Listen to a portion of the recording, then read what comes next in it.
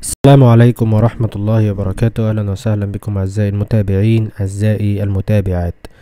موضوع اليوم هو المؤيدون للتوسعة في الصفا والمروة. يقول من أيد التوسعة من العلماء أن مسألة التوسعة هي مسألة اجتهادية خلافية لا تستند إلى نص ويكفي لحسم الجدل الدائر حولها اختيار ولي الأمر. واستند العلماء إلى عدة نقاط في الجواز. أهمها أن المعتبر في السعي هو الصفا والمروة وأن النبي صلى الله عليه وسلم لم يحدد عرض المسعى وأن تحديده غير مقصود شرعا. وإلا لكان أولى بالتحديد من عرفات ومزدلفة ومنى إن جبلي الصفا والمروة قد تعرضا عبر الأزمان لتغيرات.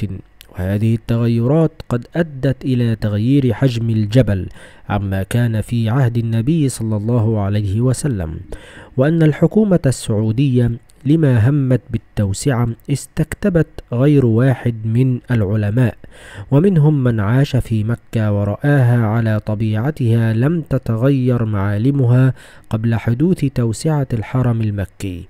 كما استدعت مجموعة من كبار السن وأدلوا بشهاداتهم أمام القضاء في مكة وسجلت شهادتهم وهذه الشهادات والنقول كافية في باب الإثبات.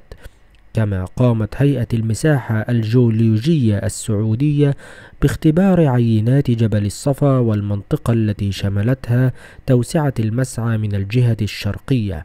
فأثبتت في تقريرها أن جبل الصفا لسان من جبل أبي قبيس لديه امتداد سطحي بالناحية الشرقية مسامات للمشعر بما يقارب ثلاثين مترا.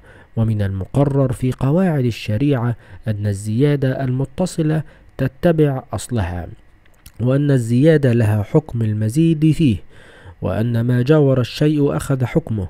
وهذه القواعد كلها تنطبق على المسعى الجديد من حيث اتصاله بمكان المسعى القديم.